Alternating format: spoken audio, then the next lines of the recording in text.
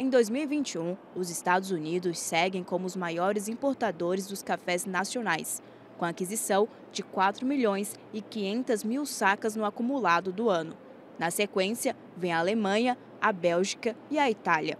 Um destaque foi o crescimento de 20% nas exportações brasileiras de café para outros países produtores, que importaram 1 milhão e 800 mil sacas no período.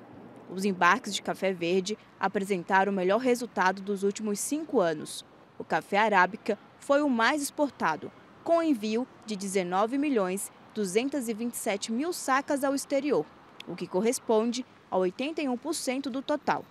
Já o café canéfora registrou envio de 2 milhões e 337 mil sacas ao exterior, respondendo por 9,8% do total. Na sequência, vem o segmento do produto solúvel, que embarcou 2 milhões e 152 mil sacas, 9,1%.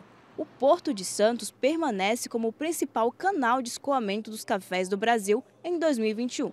De janeiro a julho, 18 milhões e 400 mil sacas partiram do Porto Paulista, o que representa 77,5% dos embarques totais.